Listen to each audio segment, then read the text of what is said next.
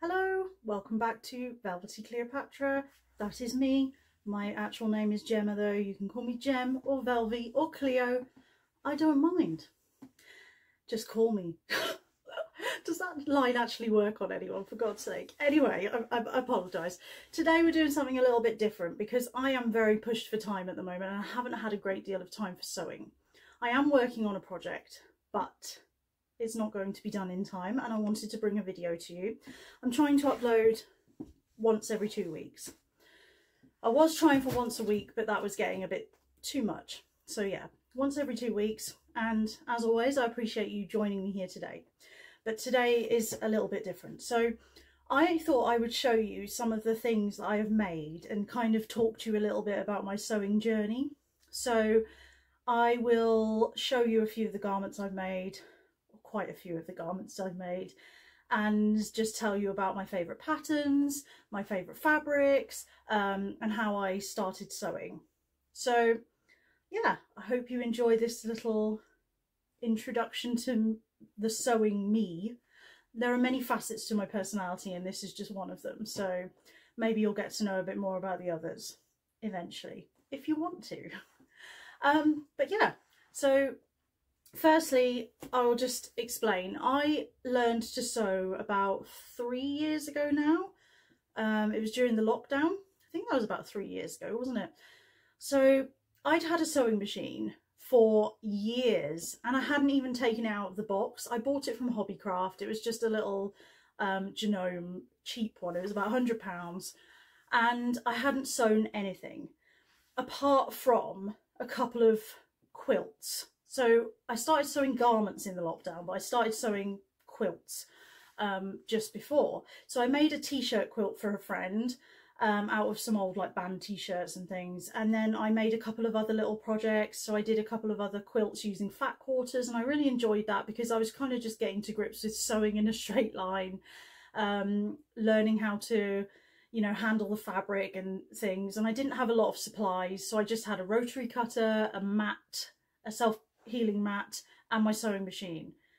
And I just went at it and I made some really cute quilts actually. I'll, I'll pop some pictures in to show you some of the quilts that I made.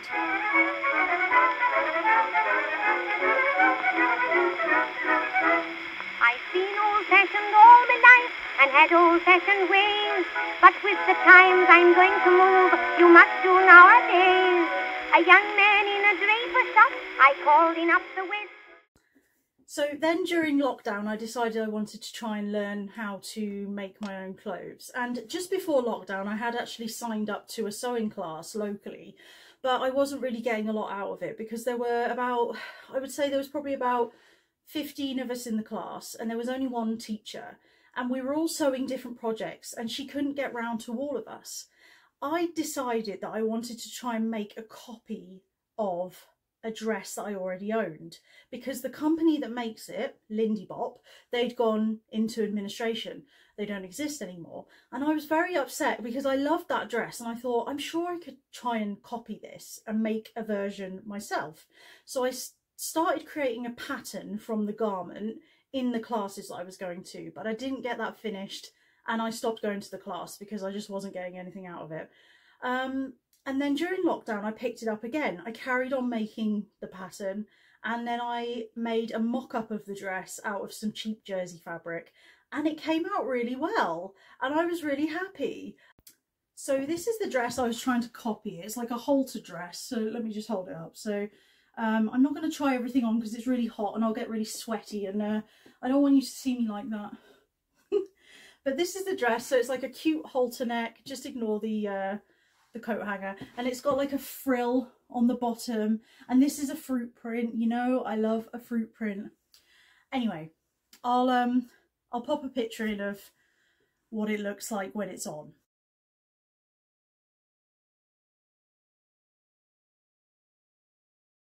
But I decided to make a copy of that. And once I'd made the blue version I decided to move on to the fabric that I'd chosen for the final version which is this white polka dot Liverpool fabric. I absolutely love Liverpool fabric. I'm wearing it right now and yeah, it just, this dress, so it's got the, the frill on the bottom, it's a halter neck, you know, I sewed it on my normal sewing machine, it's not overlocked or anything inside, but this dress fits me like a freaking glove. It makes my body look just like, oh, chef's kiss. Like, I'll put a picture in to show you. Anyway, when I wore that, I felt amazing and I had never felt so amazing in a piece of clothing before. Certainly nothing I'd ever bought from a shop before. And I was just like, I have to make more. So I made quite a few of that dress to begin with because I was just on a high at how it made my body look so good. And I was really struggling with my body confidence at that point, as in I had zero. So yeah, this is how sewing helps me find my confidence, people. But yeah, so I made a few. So I made this one in this lovely Liverpool fabric again, like a lemony yellow with like a, I, I don't know what kind of flower they are, but they're just pink. Like I would never think this colour would suit me, but I absolutely love that dress.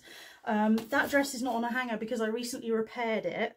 So it split across the, the seam here. So I went at it with the overlocker because bearing in mind I'd only just started sewing garments and I wasn't that great at, you know, sewing effectively. so I also made this pink version in, this again is Liverpool and it's got flamingos on.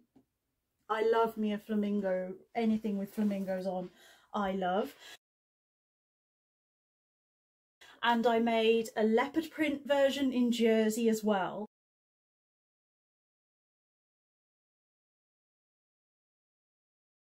I also made a black polka dot version, but I recently chopped that. It didn't have a frill on the bottom and I chopped it off.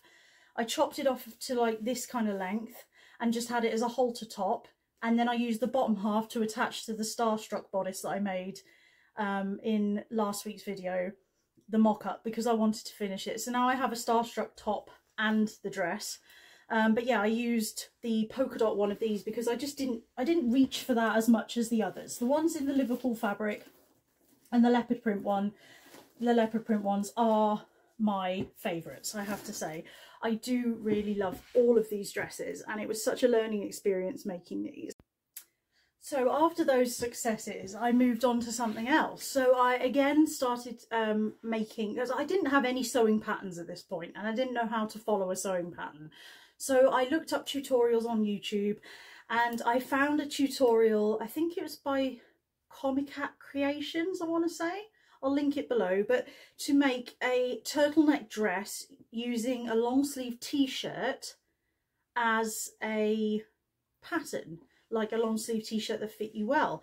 And I made three of these. So I've got this grey checked one. I've got this red and black checked one. Do you see a pattern here? I do like a check. And then I got, I made this this like hot pink and white houndstooth version and I love these so much. They just, again, they hugged my body perfectly. They made me feel really feminine and really curvy and like made me love my body.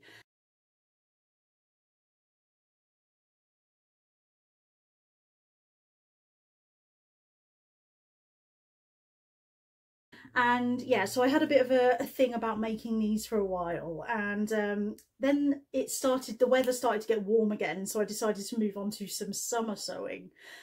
So after those I decided to try and make a wrap dress. Again not using a pattern.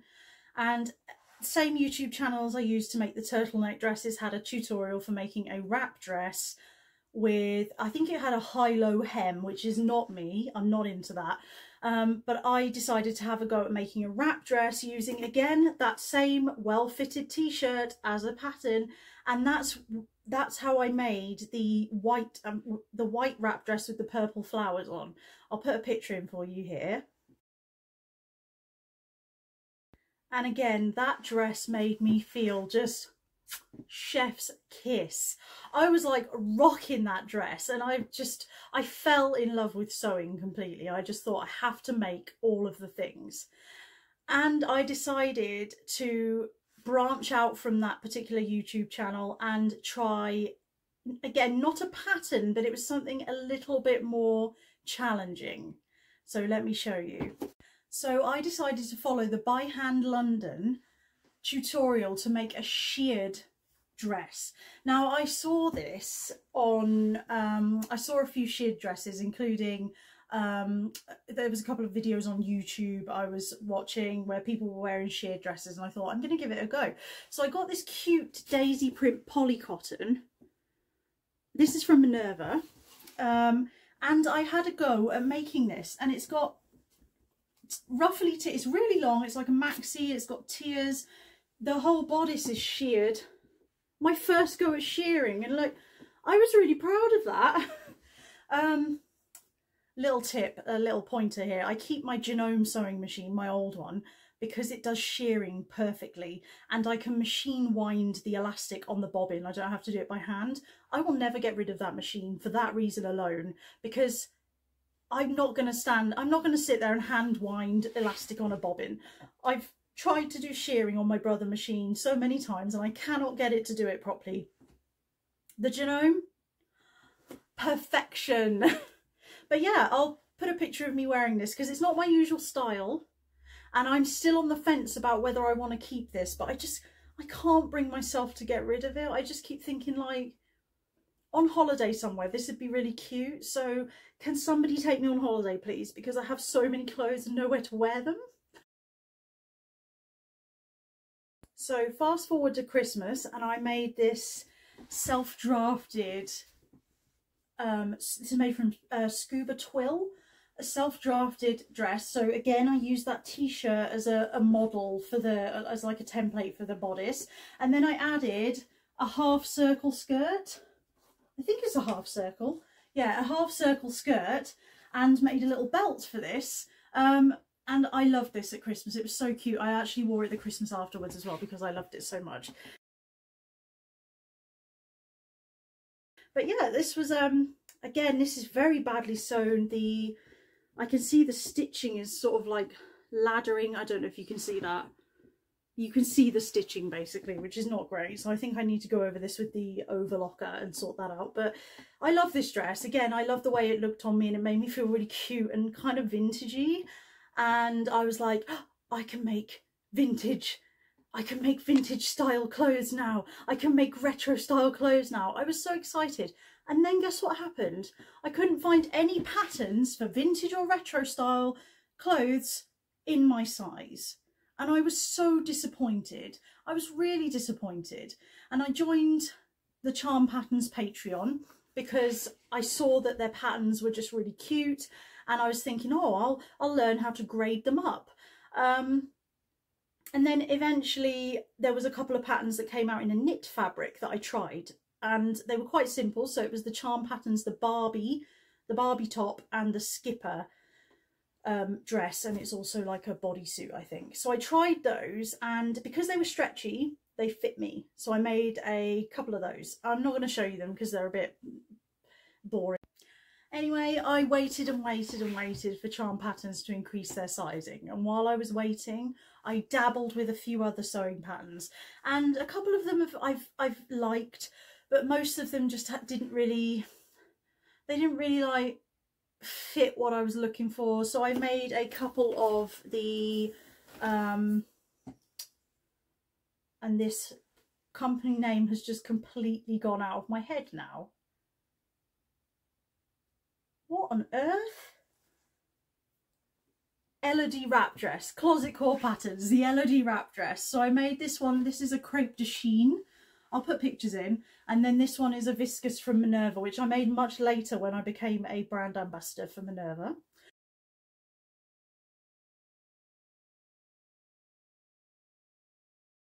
Um, I love both of these in the summer, very comfortable. This is one of my favourite patterns.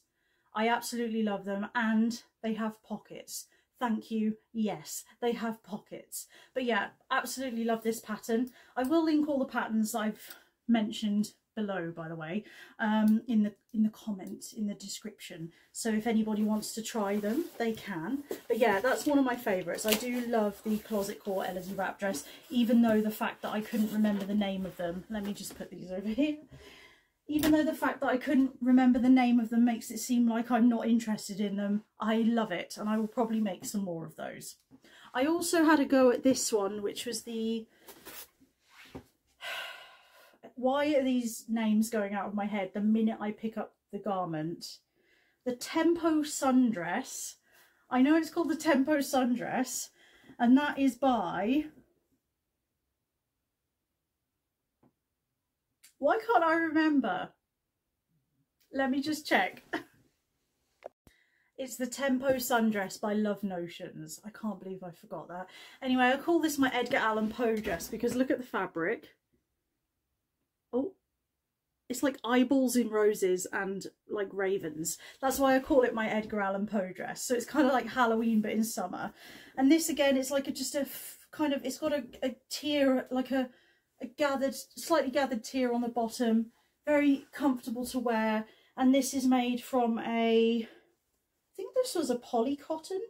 It could be a cotton poplin, cotton poplin from Minerva. Um, I made this a couple of summers ago.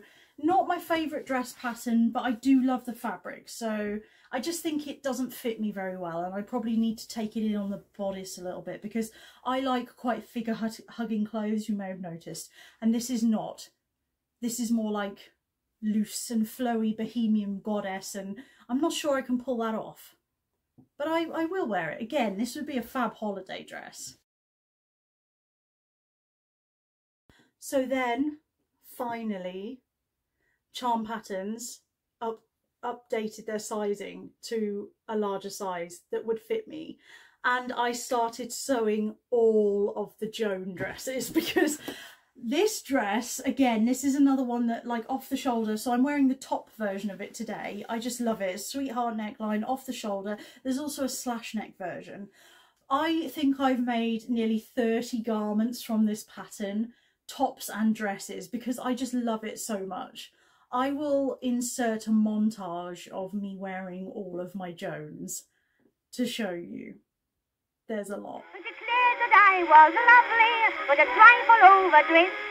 He George and George for half an hour on Fashion's latest wheeze, and kidded me to spin my hard-earned cash into a fees. Summer blouses, summer blouses, they tell me that they're great, so I must be up to date from the houses. I'll display my lovely form. They say they're cool, but I think they're very warm.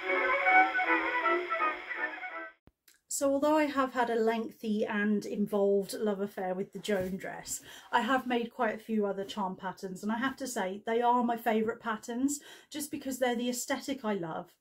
They go up to my size, they're easy to follow and you get quite a lot of different options with each of the patterns. I find they fit me pretty well. Um, if it's a woven, I normally have to raise the bust apex a bit and obviously grade between sizes because I'm a few different sizes.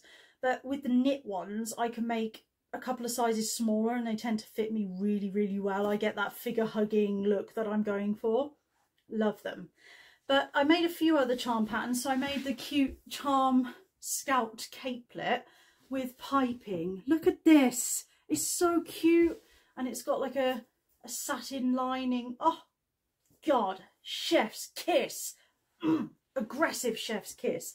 And I made the little matching hat to go with it. So cute. And when I put this on, I felt like a vintage goddess. I absolutely loved this so much.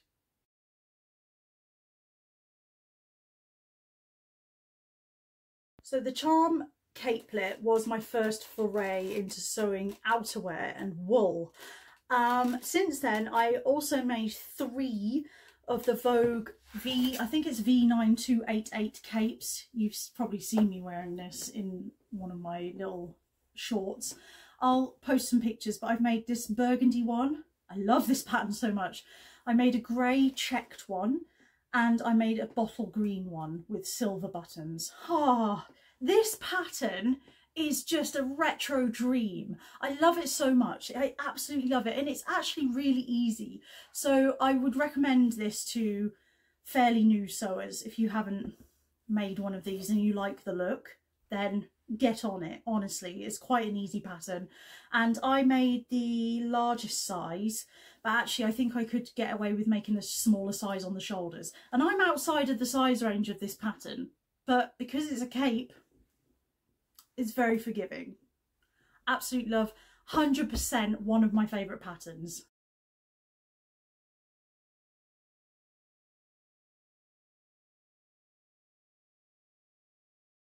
So a couple of other charm patterns I've made. I've made the Mariner dress. So these are two. I wore this one to Goodwood Revival. So this is a, um, it's a cotton poplin from Minerva. And then this one is my Advent countdown to Christmas dress. Um, again, this fabric is from Minerva. I think this is just a poly cotton, but how cute is it? Like an Advent calendar. I'll put some pictures of me wearing these.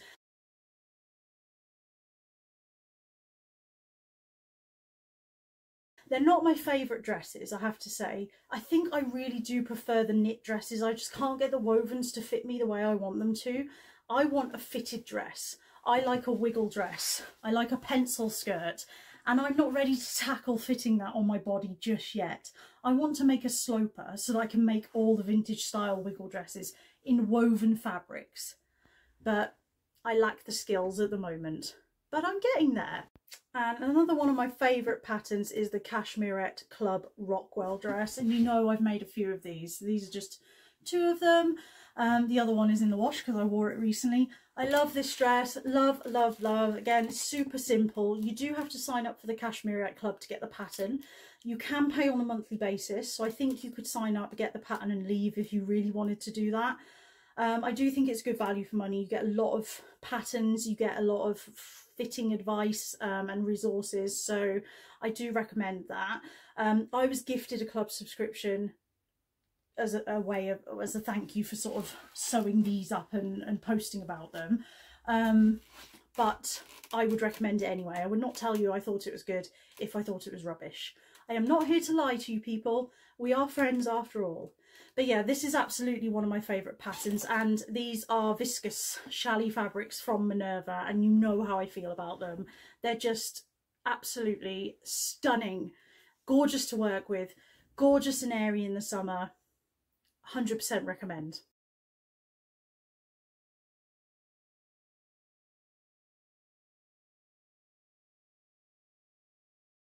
So that's just a little bit of background into how I started sewing and where what's brought me up to the point I'm at today, which is really trying to find my vintage and retro inspired style and fill my wardrobe with vintage and retro inspired pieces that are practical but also make me feel like a goddess. So I'm getting there. anyway, thank you for joining me on this bit of a whirlwind kind of tour of my closet, I guess. Um, I will be back with another sewing pattern, another sewing video soon. I'm working on one of my other favourite patterns and I'm not going to tell you about it right now because it's going to be in that video and I want it to be a, I want it to be a surprise. um, it's velvet, just a little like teaser for you, of course. Anyway, please do like my video and leave me a comment. Let me know what you think. What are some of your favourite patterns? Have you tried any of the patterns that I've sewn? What, do you like about them? Um, and if you haven't subscribed, please subscribe. I'd love to have you here with me. And thank you to everyone who has already subscribed. It means so much to me that you're here with me each time I post. The support I've had from you has been phenomenal. And I put off making a YouTube channel for so long because I thought it would be a failure. And you guys are just... I love you all. You're amazing. You're all chef's kiss. Anyway, ta-ta for now. I can't believe I said that. I'm They're sorry. just the Goodbye. thing a mother wants to strain the Sunday greens, to make them come in useful. There are lots of ways and means. For instance, when our Jimmy goes out speaking with a tin, they'll do to stick upon his rod to catch the tiddlers in. Old Mother Eve, she didn't care a fig for none of these. When she wanted costumes, all she did was shake the tree.